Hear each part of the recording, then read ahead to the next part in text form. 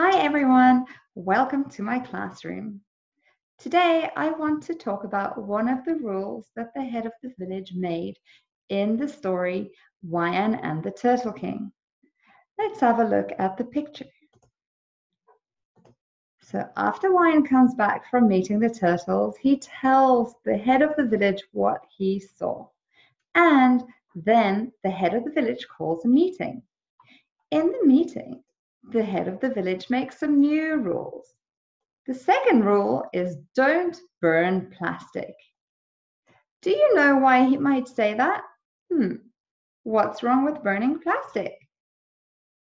Well, let's have a look at a few reasons, okay? I want you to think about when you have a barbecue at home. What can you see? Yes, good. So there's usually a flame there's usually light and heat and smoke. When you stand in the smoke, is it nice? no, it's not, right? You get smoke in your eyes, your eyes get red, maybe you cry a little bit, and maybe you cough. Okay, so that is air pollution.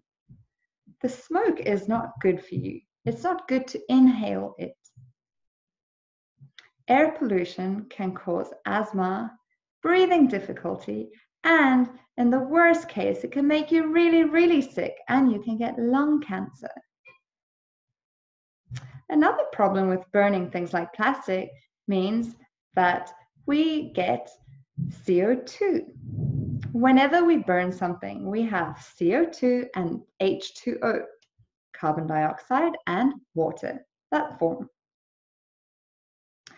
What's the problem with water?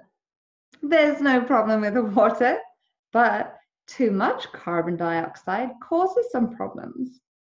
First, if we have too much carbon dioxide in, in the air, in the atmosphere, it can cause the ocean to become acidic.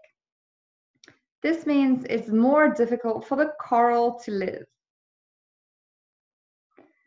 Also, another problem with too much CO2 is that the planet gets warmer. Now, usually, trees will take the CO2 and change it, back into oxygen so that we can breathe it. But there's only so much trees can do. And also, did you know that so many trees are being cut down every day? Trees are like the lungs of the earth.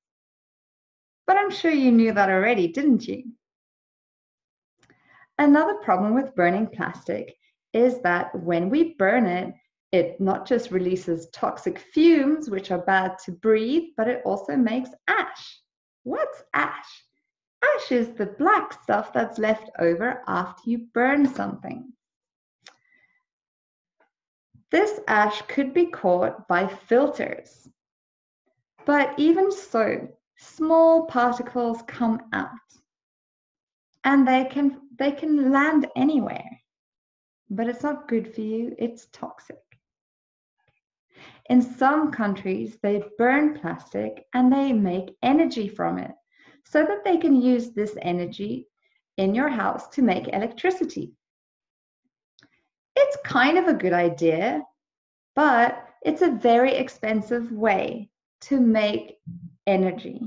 And also, even if you use a filter, you still end up with toxic ash and you still end up with some warm air going up into the atmosphere, none of which is good for our planet. Can you think of any other reasons?